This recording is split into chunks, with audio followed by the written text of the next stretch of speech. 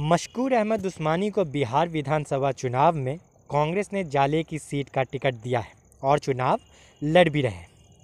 ऐसे में Aligarh Muslim University के स्टूडेंट्स क्या सोचते हैं उनके बारे में? उनकी क्या राय है? अपने एक्स स्टूडेंट यूनियन प्रेसिडेंट को लेकर आइए जानने की कोशिश करते हैं।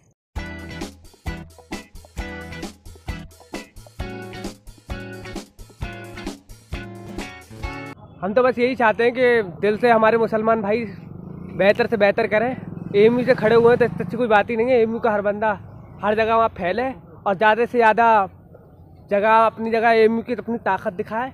और हम यही चाहते हैं कि हर बच्चा हर मुसलमान भाई एक अच्छी पोस्ट पर जाए एक डॉक्टर बने इंजीनियर बने पॉलिटेक पॉलिटिक्स में जाए यूपीएससी में जाए यानी एक बड़ी पोस्ट पर जाए। रिक्शे चलाने वाले नहीं बनना हमें हमें एक बेहतर बनना है। कांग्रेस ने दिया अच्छी कोई बात ही नहीं है। कांग्रेस ने जीता है। इससे आपको कोई दिक्कत नहीं है। नहीं कोई दिक्कत नहीं है। अच्छी बात है ये तो। मशहूर उस्मान उस्मानी साहब को और इन जीते वो बिहार का इलेक्शन और हम हमारे एमयू के हैं तो ये दिल से दुआ तो निकलेगी एमयू का नाम रोशन किया उन्होंने।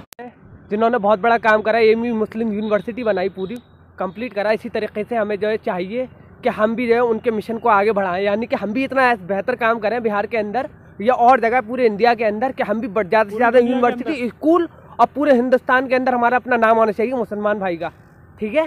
बिल्कुल, हम तो बहुत खुश हैं कि उनको एमएलए का टिकट मिला है और बहुत आसानी से उनको टिकट मिला चूँकि जिस हिसाब से अगर हम दूसरे लोगों को देखें, अगर ऐसे नॉर्मली इतनी आसानी से किसी को इतना अहम सीट मिलता नहीं है, लेकिन अलीगढ़ मुस्लिम यूनिवर्सिटी के चूँकि वो 2017-18 के वो प्रेसिडेंट रहे हैं तो उसकी वजह से उनको बहुत आसानी से और उन पर बहुत ज़्यादा भरोसा जताया गया है पाकिस्तान ये कांग्रेस की जानब से।